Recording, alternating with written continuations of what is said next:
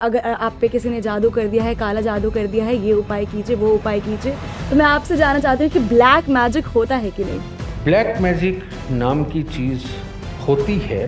ये हमारे शरीर के अंदर की जो ऊर्जा है ना, ये सच में जो गीता में लिखा है कि इंसान मरता है, आत्मा नहीं मरती। लेकिन अब आत्माओं का भी सीन आत्माएँ तीन प्रकार, इनको तीन कैटेगरी में रखा गया ए बी और सी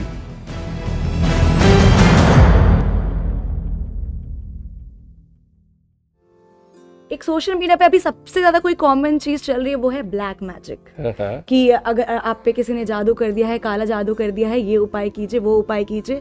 तो मैं आपसे जानना चाहती हूँ कि ब्लैक मैजिक होता है कि नहीं? चाचा ताऊ कितने तेरे? मेरे मेरे चार. चार है ना? जी. हाँ. उनके आगे की रिश्तेदारी भी तो जानती होगी. दूर से जानती हूँ हाँ उनके ससुराल ससुराल है पास पास वाले जानती है ना? हाँ। इनमें से किसको देखा जादू टोना करते हुए तुमने नहीं मेरे घर में तो मैंने किसी को नहीं देखा। तेरी रिश्तेदारी में देखा? नहीं। कभी नहीं देखा? नहीं। तो पर गाँव में ना जनरली लोग कहते हैं कि काला जादू हो जाएगा इसके घर पे मत खाओ उसके घर में मत खाओ। मैंने सुनी है पर मैंने कभी खुद इम्प्लीमेंट नहीं किया क्योंकि मैं बिलीव नहीं करती। ये एक ना जहर है जो फैला दिया गया। जी। स्वार्थी लोगों द्वारा। स्वार्थी लोगों द्वारा। मैं आज इसका पूरा खुलासा करता हूँ। जब कोई ज्योतिषी नहीं होता जब कोई शक्तियों वाला बाबा नहीं होता जी। और वो निकम्मा कहीं से भी कुछ नहीं कमा सकता ना वो फिर एक साधु का भेज धर के बैठता है। हम्म, तो वो तो अपनी मानसिकता से लड़ रहा था। हम्म, और सामने से भाव में कोई चला गया जाके प्रणाम कर दिया और अपना दुख बता दिया। हम्म, अब उसको लालच है खाने के लिए पैसे नहीं ज़रूरतें पूरी करने के लिए पैसे नहीं सामने वाले से पैसे भी लेने हैं। अब उसको और कुछ नहीं समझ आया। उसने कहा तेरे ऊपर किसी ने कुछ कर दिया है। हम्म, तेरे ऊपर भूत का साया है। भूत तो नज़र आता नहीं साया है। तेरे को किसी ने रोक रखा है। एक जिन है जिसने बाँध रखा है। अरे भाई अगर वो इतनी बड़ी ताकत है दिखा तो दे कहाँ है? जी। कोई तो उसकी निशानी दे। हम्म, अगर वो इतनी बड़ी ताकत है। हम्म, अब भोले भाले लोग ये तो मानते नहीं। ये मान जाते हैं हम पे किसी ने कुछ कर रखा है। जी।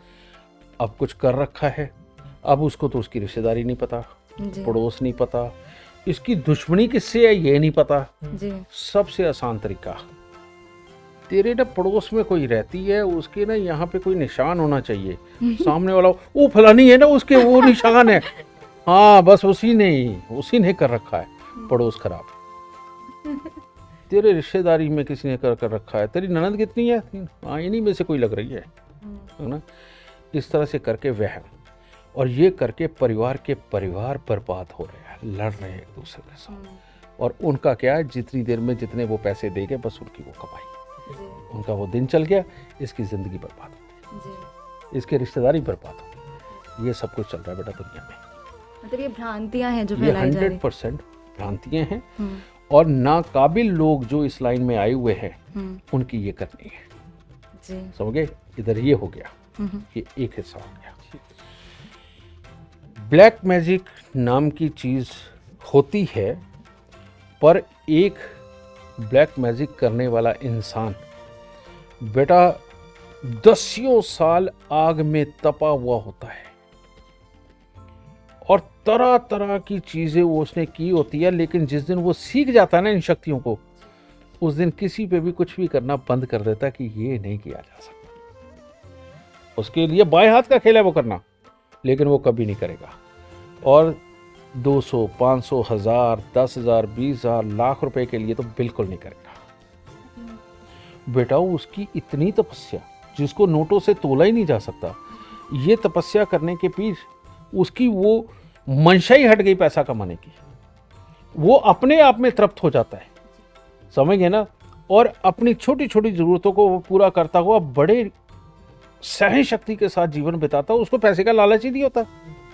ऐसे लोग हैं, जानता भी हूँ। लेकिन जो पैसा कमा रहे हैं, बेटा, वो तांत्रिक नहीं होते। होते ही नहीं। लोग ये डर के मारे कि ये तांत्रिक है। तो डरते हैं, लेकिन वो तांत्रिक नहीं होते तुम्हारा कुछ नहीं बिगाड़ सकते, क्योंकि है ही नहीं कुछ उनके पास। ठीक है ना? ये चीज़। लेकिन अब ये ऊपरी शक्तियों की बात करें, ये है। ये हमारे शरीर के अंदर की जो ऊर्जा ना, ये सच में जो गीता में लिखा है कि इंसान मरता है, आत्मा नहीं मरती। लेकिन अब आत्माओं का भी सीन है। आत्माएँ तीन प्रकार। इनको तीन कैटेगरी में रखा गया ए बी और सी जो सी कैटेगरी की आत्माएँ, वो धरती पर रहती है। ये वही है, अतृप्त लोग, जो ना जीने ना ना जीते हैं ना जीने देते हैं। घर पे जिनको समझाया नहीं जा सकता, जिनको सेटिस्फाई नहीं किया जा सकता, जिन्होंने खुद कुछ करना नहीं और दूसरे के किए में कमी निकाल ली, ये सारी सी क्लास आत्माएँ यहीं रह जाती दूसरे वो लोग हैं जो कंप्रोमाइज करना चाहते हैं, जो फैमिली के अंदर भी भाई को बहन को लड़ने से बचाते हैं, भाई को माता पिता से लड़ने से बचाता है, वो जो मीडिएशन का फैमिली में काम करता है ना, वो उसको भी संभालता है, उसको भी संभालता है है ना? ये बी क्लास आत्माएँ हैं।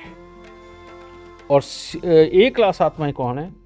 जो आज धरती पे भी सैकड़ों कर्मचारियों को, हज़ारों कर्मचारियों को जो रोजी रोटी दे रहा है ना, उसका माइंडसेट इतना बड़ा हो गया है कि वो किसी की भी छोटी छोटी गलतियों की तो परवाह ही नहीं कर रहा, बस उनको चलाई जा रहा है, नौकरी भी देर तक दिए जा रहा है, उनको फैसिलिटियाँ भी दिए जा रहा है।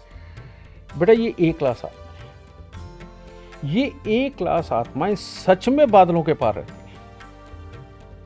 इनका स्थान वहाँ पे है, जिसको स्वर्ग बोला जाता है। ये वहाँ रहती हैं ये नीचे नहीं आती। ये जो बी क्लास आत्मा है ये कोऑर्डिनेशन का काम करती है नीचे की बात ऊपर ऊपर की बात नीचे। पर इनका एक्सेस इधर भी है उधर भी है। और ये जो सी क्लास है ये थोड़ा से भी उड़ नहीं सकती ये यहाँ किसी कोने के अंदर पड़ी होगी वहाँ पीपल पे लटकी हुई होगी वहाँ खेत के रास्ते में होगी। अब इनको मौका चाहिए। जो कमज़ोर ग्रहों का हो ना बस उसको चिपक जाती है। वहाँ पर आकर के यहाँ एक अच्छे तांत्रिक मिलते हैं जो बड़े धक्के खाने के बाद कोई मिलता है। जी। और आप उसके पास जाके देखो वो ज़्यादा कमा भी नहीं रहा होता। और वो उतार देता है। है ना? ये तो आम प्रैक्टिकल में मिलने वाली चीज़ है। है ना? ये चीज़। तो अब बड़ी बात सुनोगे? कभी किसी ने भगवान को देखा है? नहीं गुरु जी क्योंकि भगवान हमारे अंदर है हमारे आत्मा में ये कहा जाता है। नहीं बेटा सुना ही अभी। ये जो एक क्लास आत्मा ऊपर बैठी हुई है ना अच्छा। ये सच में भगवान जितनी ताकत लिए। और वो जो एक क्लास आत्मा है जब कोई मंदिर में मस्जिद में गिरजा घर में जाकर के रोता है ना कोई वो जो दिल से रो रहा होता है जिसने सच में वो सच का हामी होता है उसको वो सच मिल नहीं रहा होता जब वो रो रहा होता है ना तो ये बी क्लास आत्माएँ मैसेज लेके जाती है ये क्लास के पास। कि फलाना बहुत टूट चुका है। कहीं उसका विश्वास ना उठ जाए। तो उस दिन वो एक क्लास आत्मा धरती पे आके उसकी मदद करती है। इसको कहते भगवान ने सुन ली। इसको कहते हैं भगवान ने सुन ली। समझ गए? अब तुम्हारे लिए तो वो भगवान ही है। रूप तो तुमने देखा नहीं। लेकिन ये जो ऊपर बैठी हुई हैं इनके लिए ब्रह्मा विष्णु महेश एक ही हैं। इनके लिए जीसस और अल्लाह एक ही है। इनको कोई फ़र्क नहीं समझे? ये जो एक दूसरे के लिए धरती पे रह के कट मर रहे हैं ना ना, मेरा ये भगवान, मेरा ये भगवान, ये सारी सी क्लास हैं बी क्लास वाले को भी इससे मतलब नहीं है और ए क्लास वाले को भी मतलब नहीं है। सिर्फ़ सी क्लास वाले को मतलब है, ये भगवान मेरा, तू कैसे बोला?